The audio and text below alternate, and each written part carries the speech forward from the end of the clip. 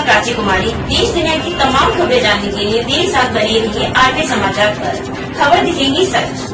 बांगरमऊ उन्नाव, चुनावी रंजिश को लेकर पूर्व व मौजूदा प्रधान ने मिलकर दो लोगों को किया लहूलुहान। आपको बता दें कि नशे में धुत पूर्व प्रधान व मौजूदा प्रधान का पुत्र आए दिन करते हैं गाँव में गुंडई। कई धाराओं में मुकदमा पंजीकृत होने पर भी बांगरमऊ पुलिस ने नहीं कर रही कार्रवाई। बांगरमऊ उन्नाव चार नवंबर क्षेत्र के मेला रामकुंवर में चुनावी रंजिश को लेकर पूर्व प्रधान जितेंद्र सिंह, उनका भाई डॉक्टर नरेश, छोटे भैया हर्षित मुकुल, अमीर शिवपाल रानू, सूरज पुत्र हृदय लाल आदि ने मिलकर घात लगाकर किया हमला, जिसमें दिनेश पुत्र भारत प्रसाद व रामबाबू को इन दबंगों ने लात घूसों व डंडों व धारदार हथियारों से मारा, जिसमें काफ़ी चोटें आई। पीड़ितों ने थाना कोतवाली बांगरमऊ में लिखित लिखित प्रार्थना पत्र देकर इन दबंग लोगों के खिलाफ कठोर कार्रवाई की मांग की, उठाई है।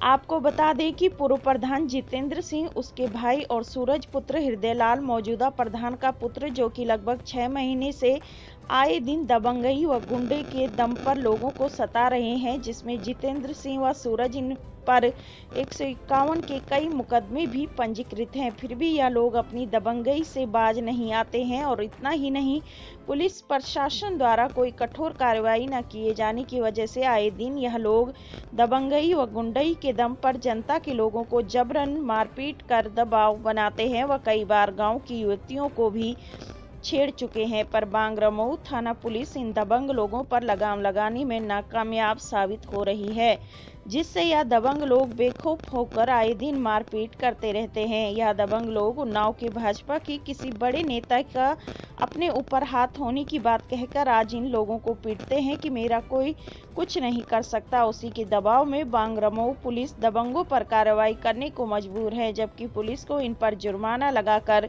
जेल भेज देना चाहिए, जिससे कि गाँव में शांति का माहौल बन सके। अब देखना यह है कि अब पुलिस कोई कार्रवाई करती है या फिर से उसे ठंडे बस्ते में डाल देगी। रिपोर्ट सौरभ कुमार।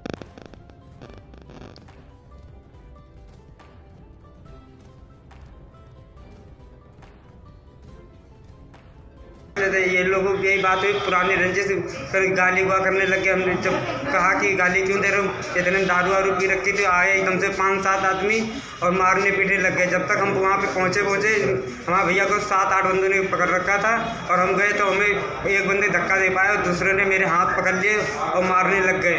ये प्रधानी की प्रधानी की वजह से जल्जले से हम लोगों को बहुत सता रहे मार पीट रहे उल्टा सीधा कौन लोग हैं ये लोग? ये लोग इसमें कुछ तो मुसलमान है कुछ ठाकुर है कुछ है कुशवाहा लोग कहाँ के हैं? गाँव के ही है। अच्छा। नाम बताओ नाम बताना।